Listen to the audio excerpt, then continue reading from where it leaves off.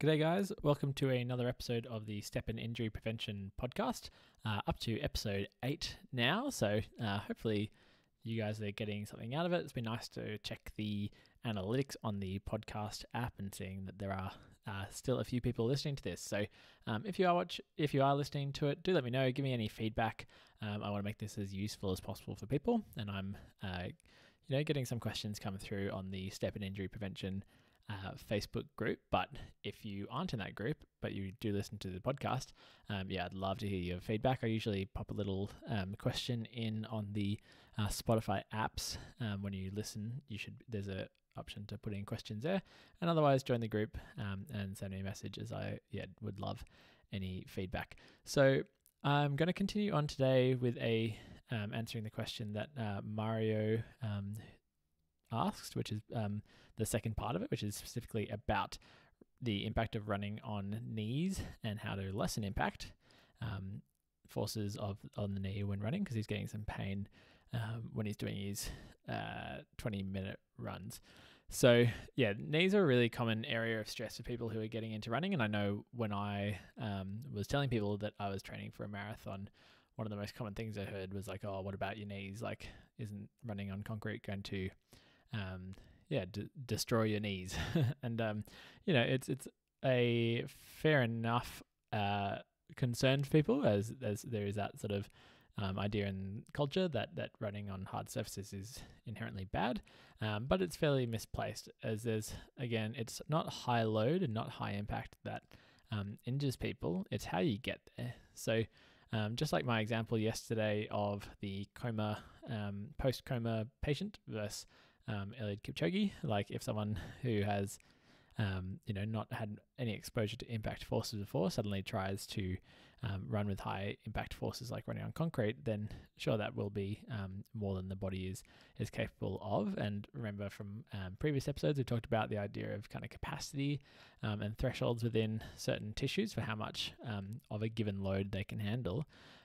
so yeah, if if you're not conditioned to it and you haven't been running much before, then certainly this can be um, a a stressful thing for the knee, and it could be um, quite challenging. But yeah, I'll talk today about the big factors that really impact um, knee health and what you can do about it. So the first is going to be um, again looking at the kind of programming side of things. This is sort of taken care of because you've got for Mario, we've got the 20 minute run. So um, yeah, changing the amount of time and um, and and distance is obviously going to um, be the quickest thing that you can change to to change impact. But for you, um, that's kind of a variable that we have sort of set in stone. So we got to think about the other things.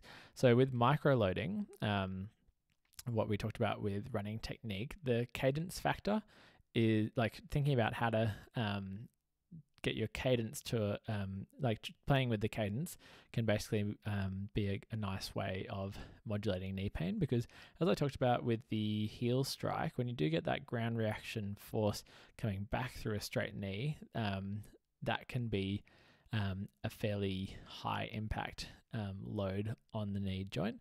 Um, and so if you're going for a higher cadence, shorter step length, if this isn't making any sense to you, um, go back and look at the um, episode I did about running technique.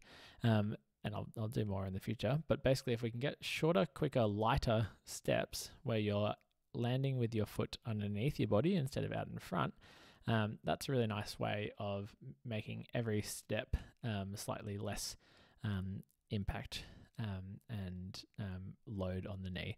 So yeah, thinking like that quick light steps. So it's almost like instead of like pushing off into the ground, and and um, this is a way of uh, my running coach suggested to me is is thinking about trying to lift your foot and having like kind of almost the quickest contact you have with the ground.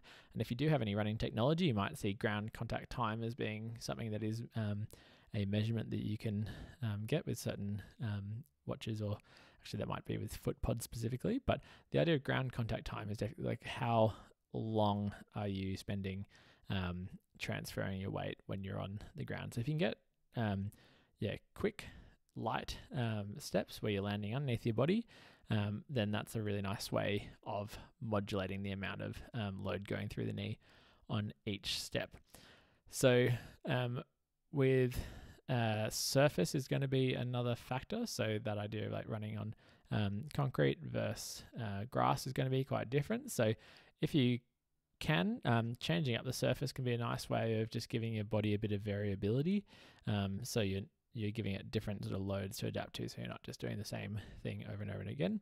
But in saying that, like you know, plenty of people, like me included, with my marathon training, um, did all of that on concrete, and so it's not nice or like asphalt. It's not necessarily going to be bad, but if you are having some um, issues, then consider trying some slightly different surfaces to run on. See if that makes any difference. Um, there are like some people say like, oh, you know, running in soft surface is going to be uh, like great for your knee because it's softer. But when you have a softer surface, that does actually put a larger stability demand. Um, and that larger stability demand is going to impact um, your foot and ankle. Like it makes the foot and ankle work much harder, um, and your hips work harder um, to basically maintain the stability in your knee. And so, if you have a knee that's aggravated by kind of side to side um, instability of movement, then going to a soft surface could actually be um, one of the more aggravating things. So again, don't take like blanket statements don't work. And remember, this isn't I haven't consulted with you directly, so I'm not sure what the um, condition you're dealing with is. But um, just I think what I hope to give you guys is just understanding what different variables, so what different things can you change that might have a difference, and it's going to be up to you to um, try them out and see how they feel. And remember, so um, Mario said he's got some pain in the knee, and so if you're not sure if the pain is something that you can push through, or you should maybe you know be a bit more um, cautious with and potentially take time off, um, the first or second episode I did where I talked about different types of pain and the idea of irritability, um, it, it's worth going back and listening to that to see, um, yeah, if you should um, bring your training to a halt or if you can keep working around it. Um, so the other factor is going to be shoes. And yeah, running shoes obviously uh, are going to have a big impact on how it loads up your body. So part of it's going to be like how soft or hard the um, like how much cushioning you have. So the um, one end of the spectrum would be like the barefoot style shoes where you basically have no cushioning, no support, and then on the far end of the spectrum you've got like your Hoka style.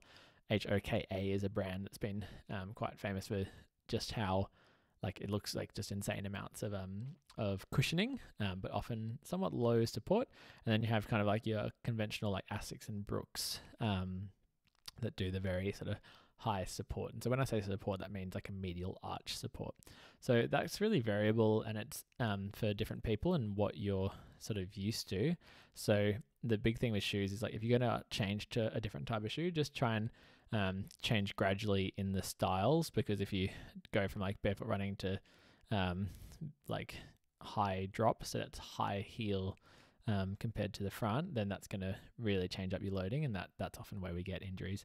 So with knees, it's often um, when you do have that higher drop um, that causes to um, basically load your knees and your quads slightly more um, and taking a bit of the um, work away from your calves and ankles. So I really noticed this. I had an Achilles tendinopathy, or um, you guys might know it as tendonitis.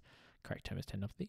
Um, and I started wearing some heel lifts in already fairly elevated um, shoes, and then that really started to load up my anterior knee, and I started to get some anterior knee pain. So uh, yeah, it's just useful to know that like how much, like how flat versus raised your heel is is going to make an impact. And if you are running with um, yeah shoes that are very high at the back, that could just be loading up your knee a little bit, and it could be worth um, playing around with some flatter shoes. But again, you don't want to make big changes because otherwise you'll just um like it's it's those changes, if, especially with the running load that you're doing 20 minutes a day. Um, that can be challenging. So the next, like the big thing that I think will make the biggest difference um, is going to be strengthening. So I'll again, I, I, do plan to get an exercise program together. If there's enough interest in it, I'll make that happen a bit faster. Um, so do let me know and join the group and, and do let me know. Um, but yeah, you said here um, increased capability of our feet, calf, and hamstring. So yeah, you're right. Those those muscles are important. But yeah, with um, strengthening around the knee, we want to think of basically um, strengthening all the muscles that directly surround it. So that's going to be kind of quads and hamstrings are the big ones above your knee, um, and then your calves and um, tibialis um, anterior at the front, um, especially ones that cross the knee joint. There's my timer. So that's going to be your calves, hamstrings, um, your quads, and also your adductors, so the muscles on the inside of your leg, and then the ITB on the outside. Um, and the ITB is not a muscle, but the glute medius and the TFL around your hips um, are ones that we want to strengthen. So yeah, it's going to be strengthening the muscles directly around the knee, but then also the um, the balance and stability muscles of your ankle and foot, and your lateral hip. Um, that then mean that your knee is uh, supported and lined up in an, in a nice way because it is a hinged joint between um, that ankle and the hip joint. So again, if there is plenty of interest and um, if I do get some comments and telling me to hurry up and do it, then I'm more likely to do it because um, I've just got a lot going on my other businesses. So um, yeah, I'll hopefully that's helpful. So again, looking at your macro loading, your micro loading, your surface, your shoe type, um, your cadence, and then incorporating strengthening is all the ways that you might go around working with the knee pain. Uh, there are some funky like strapping and taping things that you can try. I think people are kind of um, overestimate maybe what effect that has, but that's something you'd be working with the physio um, to do. So I didn't jump into too much detail there. If you do have any follow up questions about um, that, do let me know, and I might even go into like some different types of knee pain and um, yeah, the the variations between what you might do for them if there's interest in that. But I'll finish up today because we've gone a bit over time. If you, I hope you got something out of today. Um, and yeah, be like Mario, ask a question on the group and you'll get an answer.